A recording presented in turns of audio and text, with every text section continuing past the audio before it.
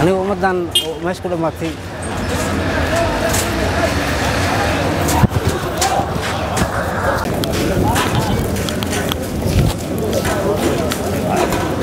Waxaa dib u soo laabatay noloshii ka jirtay isgoyska kilomitir for iyo sidoo kale waddada aadda airbortka caalamiga ah ee magaalada muqdisho.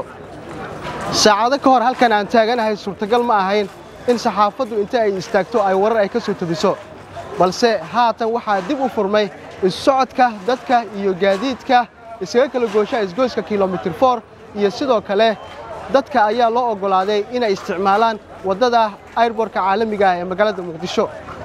Kadib weerarkii hotel xayaad oo qaatay saacado aad u fara badan.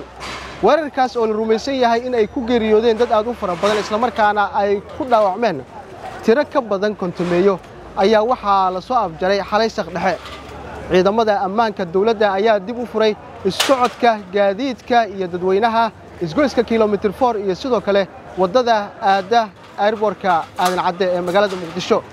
Qaar ka mida dadkii ku sugnaa halkan ayaanu ka wareysannay xaaladda isgoyska kilomitir for waddada iyo sidoo kale waxyaabaha ka jira xilligan la taagan yahay. Afar laata saac ka hor waddadan waddo fiican ay ahayd oo wanaagsan oo camiran oo nabad nolol ay ka muuqato. Haddana u jeeda siday tahay rafaadka iyo naf iyo maal oo lagu waayey dadka oo ku laacdeen meel adleer dadka iskaga baabeen. Waa maqaadir ilaahi wax walbana qadar min illaahi waa. Wax kastoo dhacayna waa waa dhacayeen qofka yani noloshiisa ilaah ahaaye laakiin sababta ay sidii oo loo sababsadan iyo si xun. Marka ilaahi u naxariis inta ku dadka dadka waa aad ba maaragtay loo leebana xamar dhan waa la wada dhegeysanaya waxaan yani dhibka meesha ka socday afar laata saac oo ka socday. Hadda xalay maa la soo jilay lix saac la soo afjilay la dhahay waxaan day waxaan umalaysaa dagaalka labada adduunka inuu ka dhaca umalaysaa burbur xoog laa ka muuqdo. Dadkii hantidaan lahayn oo kulley cid wax ku cimilata ma laha. Naftooduna ku waaya maalkooduna ku waaya ilaahay u naxariistay waxay dhintay. Laakiin dadkan mar kasta waa jamac jamaca u dhimanaya. Soomaalidana dad waxaa oo qabaa'il waa mana heshin marka waxaan ka cabsanaya dadka qaar inay yaraadaanba oo laagaabka hadda la sheegay rurun oo noqon doon. Dhibaato waa wallahi ilaahay u naxariista aniga ummaddan meesha ku dhammaatay.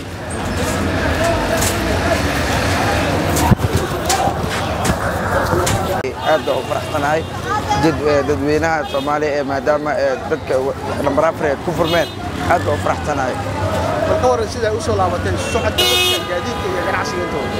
Walaahi ganacsiga horta waa u jeedaa khasaaraa ka dhacay burburaa ka dhacay dadaa ku dhintay dadaa ku dhaawac. Waxaa burburay goobo ganacsi oo ku yiilay agagarka hotelka xayaad waddada ku tirsan waddada airboorka qaar ka mid ah goobaha ganacsi weliba ay xihan yihiin halka ganacsatada kale haatan ay ku hulan yihiin dib u dayactirka goobahoodii burburay.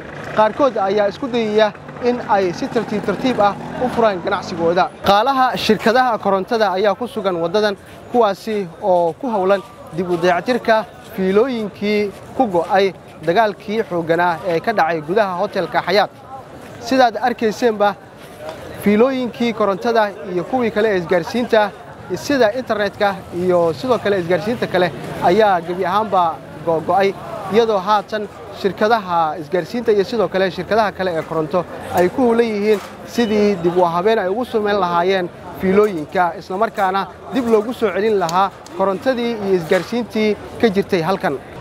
Zakariya axmed muuse tv-ga shabeelle. Muqdisho ka farxi ehelkaaga asxaabtaada iyo qaraabadaada.